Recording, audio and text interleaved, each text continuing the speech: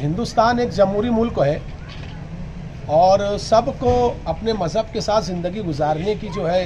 यहाँ पे अथॉरिटी है। हर इंसान जो है अपने मज़हब की तरह ज़िंदगी गुजार सकता है। तो दो रोज़ पहले राज ठाकरे साहब ने जो बयान दिया, मदरसों के ताल्लुक से और मस्जिद के लाउड स्पीकर के ताल्लुक से तो अजान जो है वो कई सालों से होती आ रही है और इनशाला होती आएगी। और राज ठाकरे साहब का पूरा पॉलिटिकल बैकग्राउंड जो का जो रेशो है, वो ज़ीरो हो चुका है। तो वो इस तरीके की सरंगेज़, कलामबाजी कर कर और उसके बाद हिंदू मुस्लिम के अंदर लड़ाई लगा कर वो ये सोच रहे होंगे कि उनकी पार्टी को बहुत ज़्यादा शोहरत, मकबूलियत और ताकत हासिल होंगी। तो मालेगांव डेवलपमेंट फ्रंट कहती है कि ऐसा कुछ भी नहीं होगा, क्योंकि महाराष्ट्र की आवाम एजुकेटेड है, वो सारी चीज़ों को जानती है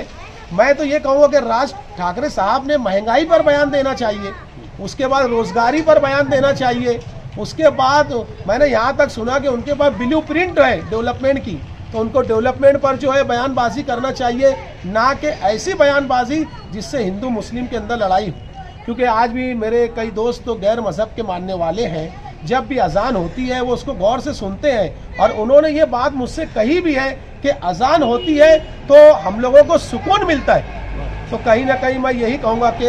मैं महाराष्ट्र गवर्नमेंट से ये मुतालबा करता हूँ और हमारे सीएम उदय ठाकरे साहब से भी ये कहना चाहूँगा कि ऐसे लीडरान जो इस तरीके इस तरीके की हिंदू मुस्लिम के अंदर जो है भड़काऊ बयान कर कर एक दूसरे के अंदर जो लड़ाई पैदा कर रही हैं, इन पे कार्रवाई की जाए और इनको रोका जाए। दूसरी बात यह है कि उन्होंने ये भी कहा कि अजान देने से जो है नॉइस पॉल्यूशन होता है, वॉइस पॉल्यूशन होता है। तो मैं ये कहूँगा कि बॉम्बे के अंदर दिन रात जो है डीजे बजते हैं, उसके बाद जो शादी ब्याह होती है, उसमें डीजे होते हैं, उसके बाद जो है कहीं जो है, कोई लीडरान का फ़ंक्शन होता है, उसमें डीजे होते हैं, पटाखे फोटे, आतिशबाजी की जाती है कि उससे पॉल्यूशन नहीं होता, कि जो है, वहाँ पर जो ट्रेनें चलती हैं, जो गाड़ियों से जो सायरन की आवाज़ें निकलती है, क्या वो पॉल्यूशन नहीं होती? तो ऐसा मैं राज ठाकरे साहब से ये बात कहूँगा कि ऐसी बात कीजिए, जो यहाँ के नागरिक को इस बात बात हजम भी हो जाए, ना कि ऐसी बेवकूफ़ी